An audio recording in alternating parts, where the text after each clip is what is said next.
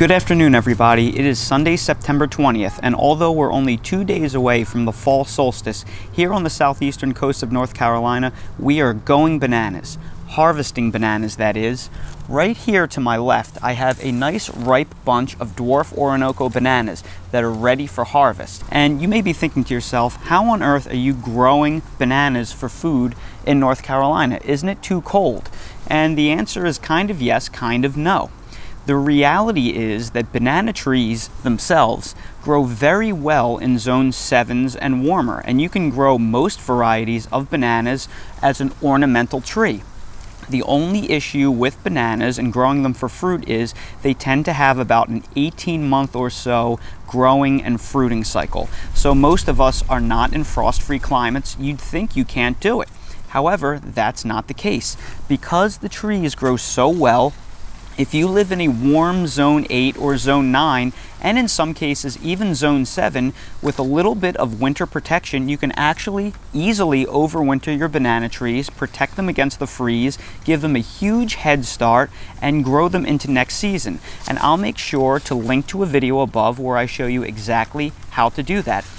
And I did that last year for only a few dollars and a few minutes of my time, and here I have this beautiful, ripe bunch of bananas. Now, a few fun facts about bananas. Most people call these banana trees, but bananas are in fact not trees. What they are is they are an underground rhizome called a corm, and each individual banana tree is actually an herb. It is an herbaceous pseudostem.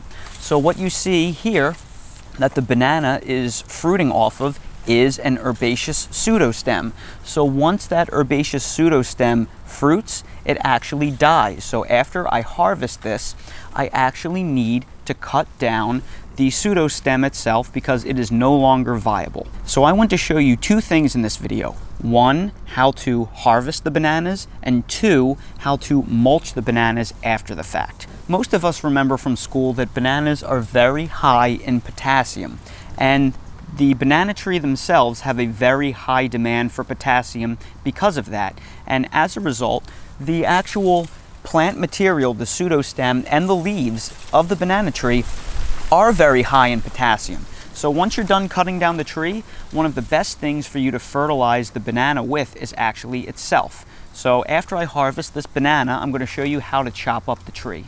And harvesting the banana tree is very simple. All we're going to do is use one of these hand saws. So I'm going to pull this down and I'm just going to cut this pseudo stem. And then we are going to have a great bunch of bananas. Now, after you harvest your bananas, you're going to need to let them hang and ripen for a while. In an ideal situation, you would do this in a warm, screened-in porch uh, to keep the bugs away because as these ripen, they're going to attract a lot of bugs. I do not have that, so I have to hang the bananas off the shelf in my garage. And what I'm going to do is um, I simply have it uh, hung up by some butcher's twine and I have the bananas hanging upside down. So they're drooping, almost like a, a fig would droop. And uh, that's how you want to um, that's how you want to have your bananas hung. It's just tied up here.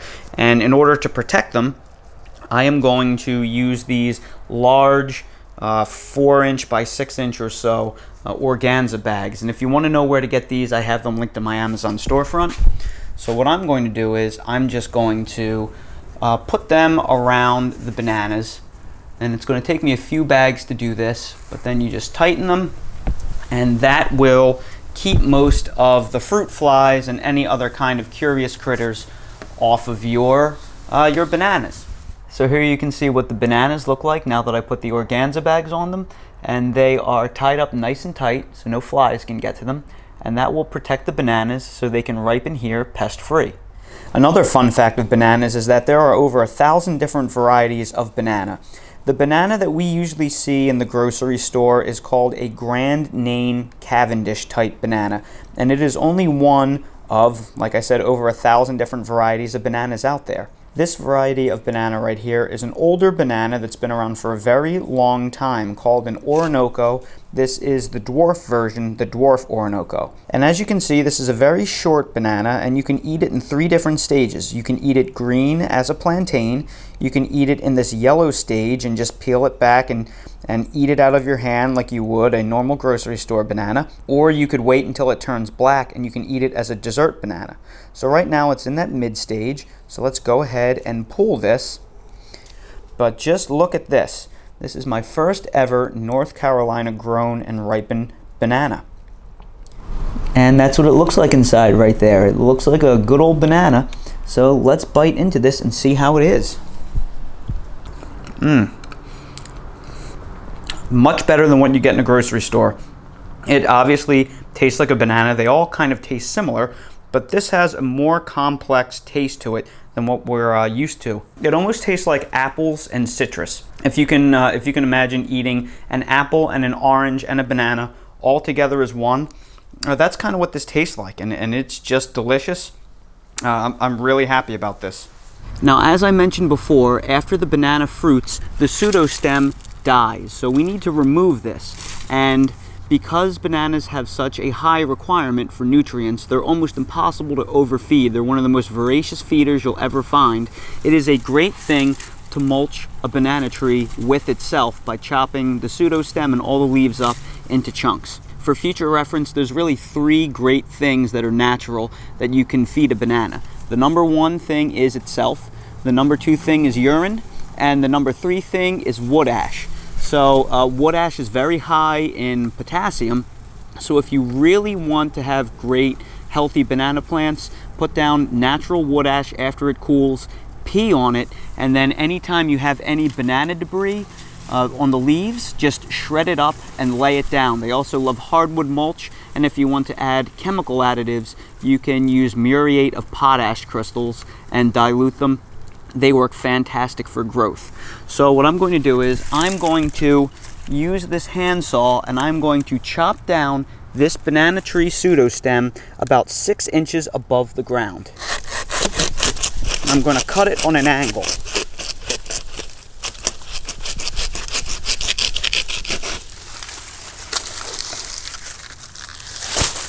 Now, in areas where bananas grow, there is a beetle called a banana root borer that can bore into these roots and into the corm and destroy the corm.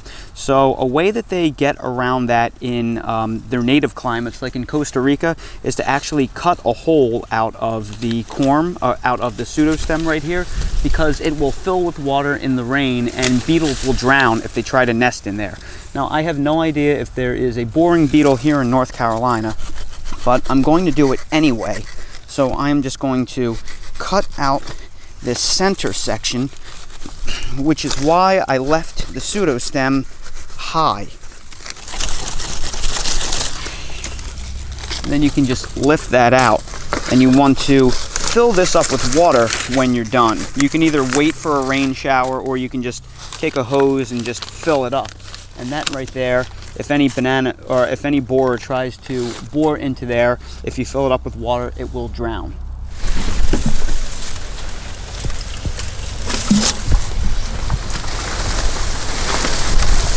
And now we're going to hack up our banana pseudostem.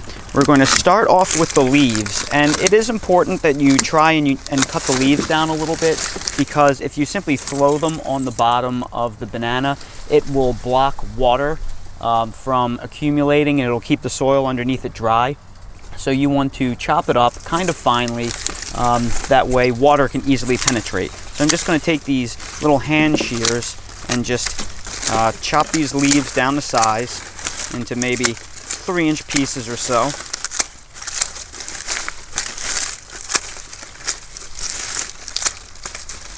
And the last thing I'm going to do is I'm going to cut the banana pseudostem into pieces.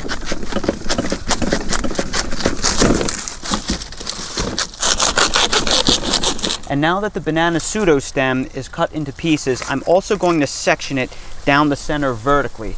And the reason why I'm going to do this is I have heard that if you just cut them into whole chunks like this and you leave them at the base of your tree, when they are complete like this, they can release an off gas that can scare earthworms and other beneficial worms and uh, bacteria and fungi away. There's a mild toxic effect but that is mitigated when you cut them down the center and you open them up. And here they are opened up. Now, in Central American countries, they use a machete to do this because it's a lot easier. I don't have one, so I'm using this handsaw. But if you have a machete, please, by all means, use that. So here we have our wheelbarrow full of banana mulch, all chopped up into pieces. So now we're simply going to take our chopped up pseudo stems and we're going to lie them down underneath the banana tree. And then we're going to take all of our leaves and place them on top.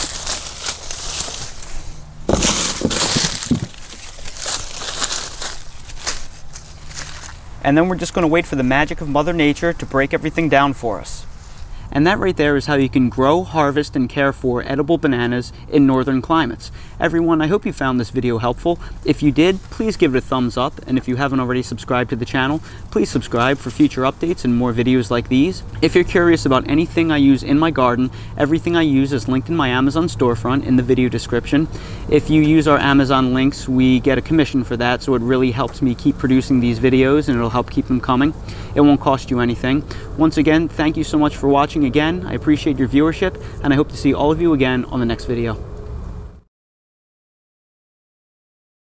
All right, Dalester, you've always been funny with your eating habits, and sometimes I think that you like fruits and vegetables more than you like meat. So here we have a little taste test right here. I have an organic dried Turkish fig. I have a block of cheddar cheese, and I have a block of pork loin that's cooked in tomato broth. Let's see which one the Dalester likes the most. So I have the three plates that are placed over here, so he has to turn the corner and get to them. That way he can't just run straight at him. So let's see which plate Dale likes the most. Okay, buddy, come. What does he go to first? And he goes to the, the meat first, of course, and then the cheese, and then back to the meat. Uh, looks like the dried fig is going last. So I kind of had my money on the cheese first, but at the end of the day, he went for the fig last. He is still a dog, so I guess he's a meatitarian first and foremost. Can we get a boot by, Dale?